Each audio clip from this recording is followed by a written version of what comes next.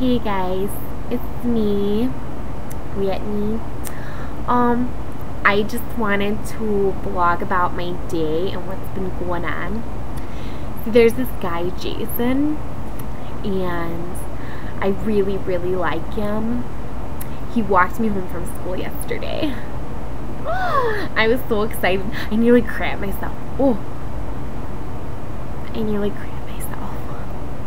I was so excited that I nearly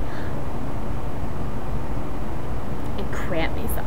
I was so excited you don't even know. So anyway, I heard Becky Ann and Louie are gonna go to like Mexico or Alabama or something like that. And I heard they're gonna go get married. They're like only 15 or 16 years old. So I don't know how they're gonna do that, but I don't know but it's just so unclean there. I'm not even talking. Talking. I want to do a different accent.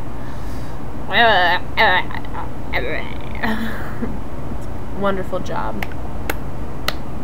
Just